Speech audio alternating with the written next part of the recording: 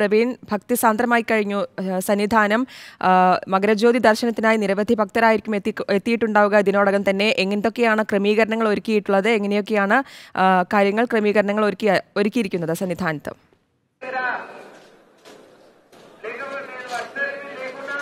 ശബരിമലയിൽ മകരജ്യോതി ദർശനത്തിന് ഇനി മണിക്കൂറുകൾ മാത്രമേ ബാക്കിയുള്ളൂ. ഭക്തജനലക്ഷങ്ങളാണ് സന്നിധാനത്തേക്ക് എത്തിയിട്ടുള്ളത്.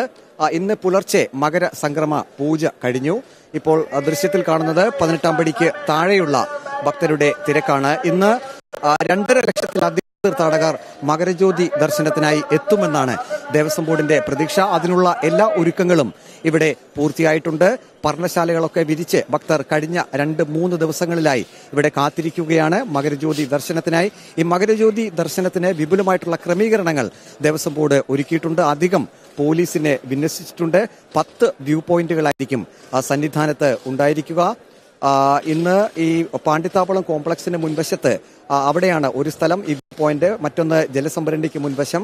അതുപോലെ തന്നെ ബി എസ് എൻ എൽ ഓഫീസിന്റെ വടക്ക് ഭാഗത്തും ഈ മകര ജ്യോതി ദർശനത്തിനായിട്ടുള്ള പ്രത്യേക ഇടം തയ്യാറാക്കിയിട്ടുണ്ട്.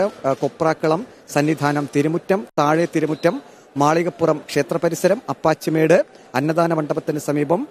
ഇങ്ങനെ വിവിധ ഇടങ്ങളിലായി പത്തോളം വ്യൂ പോയിന്റുകളാണ് ഈ ഈ മകരജ്യോതി ദർശനത്തിനായി ഒരുക്കിയിട്ടുള്ളത് തിരുവാഭരണ ഘോഷയാത്ര ഇന്ന് വൈകിട്ടോടെ സന്നിധാനത്ത് എത്തും.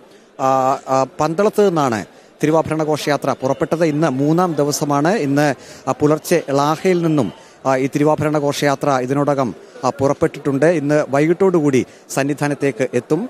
അങ്ങനെ ഈ തിരുവാഭരണ ഘോഷയാത്ര സന്നിധാനത്ത് സന്നിധാനത്തേക്ക് എത്തി. വൈകിട്ട് ആറരയ്ക്ക് ഈ തിരുവാഭരണം ചാർത്തിയുള്ള ദീപാരാധന നടക്കും. അതാണ് ഏറ്റവും പ്രധാനം.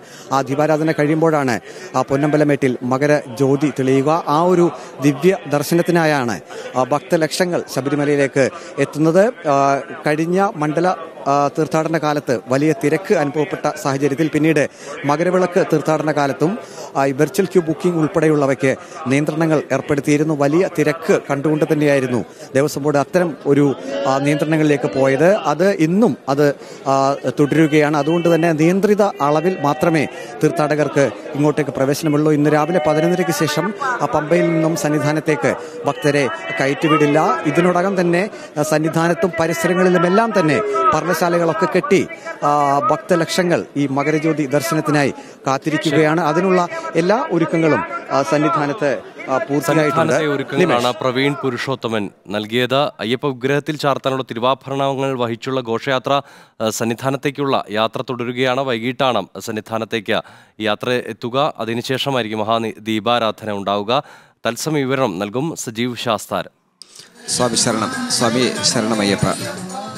ഇന്ന് പുലർച്ചെ രണ്ട് മണിക്ക് തന്നെ ലാഹയിൽ നിന്ന് പുറപ്പെട്ട് രാജാമ്പാറ വഴി പ്ലാപ്പള്ളി കടന്ന് ഇപ്പോൾ നിലയ്ക്കലേക്ക് തിരുവാഭരണ ഘോഷയാത്ര നീങ്ങിക്കൊണ്ടിരിക്കുകയാണ്.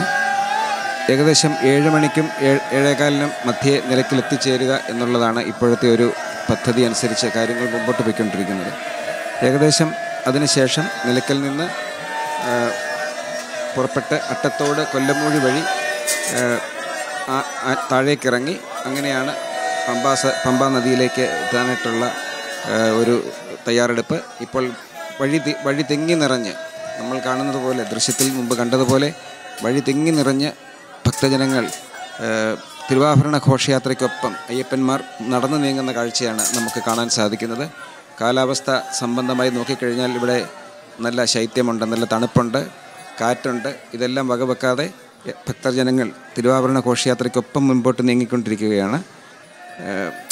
ഏകദേശം ഏഴ് മണി ഏഴേകാൽ മണിയോടുകൂടി നിലയ്ക്കൽ എത്തിച്ചേരും എന്നുള്ളതാണ് ഇപ്പോഴത്തെ ഒരു പദ്ധതി അനുസരിച്ച് അറേഞ്ച് ചെയ്തിരിക്കുന്നത്. ആ രീതിയിലാണ് തിരുവാഭരണ ഘോഷയാത്ര ഇപ്പോൾ മുന്നോട്ട് പോയിക്കൊണ്ടിരിക്കുന്നത്.